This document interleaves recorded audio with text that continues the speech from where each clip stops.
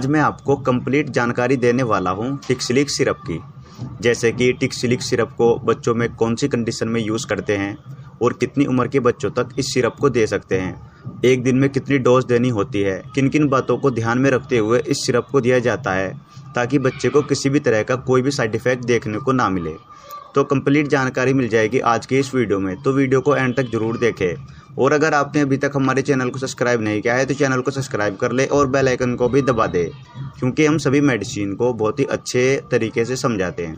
तो चलिए video start करते हैं। टिक्सिलिक सिरप एबट कंपनी के द्वारा बनाया जाता है और 60 एम का इसका एक पैक होता है। अब बात करते हैं इसके बेनिफिट के बारे में। टिक्सिलिक सिरप को हम बच्चों में ड्राई कफ होने पर यूज़ करते हैं। ड्राई कफ मतलब सूखी खांसी। सूखी खांसी में टिक्सिलिक सिरप का बहुत ज़्यादा इफ़ेक्टिव रिज़ल्ट होता है। अगर आपके बच्चे को बहुत ज़्यादा खांसी है खांसते खांसते गला भी दुख गया है तो ऐसी कंडीशन में टिक्सिलिक सिरप का काफ़ी कमाल का रिज़ल्ट होता है। दो तीन दिन यूज़ करने से ही बच्चे को काफ़ी सुकून मिलना शुरू हो जाता है। ड्राई कफ की वजह से बॉडी में कुछ सिम्टम्स भी आ जाते हैं। जैसे आँखों से पानी निकलना शुरू हो जाता है, या फिर बहुत ज़्यादा नाक बहती है, छींकें आती है, थोड़ी बहुत एलर्जी भी हो जाती है। इस तरह के सिम्टम्स ड्राई कफ होने की वजह से हो जाते हैं।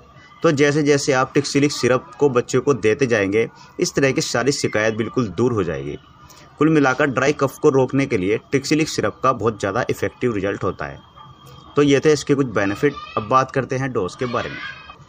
आप इसे तीन महीने से छोटे बच्चों को ना दें। और तीन महीने से एक साल के बच्चों तक पाँच एम दिन में तीन बार दे सकते हैं और एक साल से पाँच साल के बच्चों तक पाँच पाँच एम के दो ढक्कन तीन टाइम दे सकते हैं। और आपने तीन से चार घंटे का इस डोज के बीच में गैप लेना है।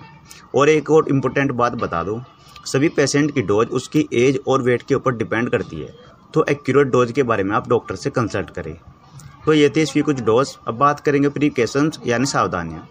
अगर आपके बच्चे को किडनी या लीवर से रिलेटेड कोई प्रॉब्लम है तो आप इस सिरप को डॉक्टर से कंसल्ट करके यूज़ करें, क्योंकि ऐसी कंडीशन में साइड इफ़ेक्ट आ जाते हैं। इसके अलावा इस सिरप की ओवरडोज ना ले, और किसी भी मेडिसिन को यूज़ करने से पहले एक बार उसकी एक्सपायरी चेक कर ले। तो ये थे इसके कुछ प्रिकॉशंस। अब बात करते हैं साइड इफ़ेक्ट के बारे में। कॉमन साइड इफ़ेक्ट की बात की जाए तो हल्का वोमिटिंग हो सकती है, कॉन्स्टिपेशन हो सकता है, नोजिया कंडीशन हो सकती है मतलब जी मचलाता है इस तरह के कॉमन साइड इफ़ेक्ट सामने आ जाते हैं।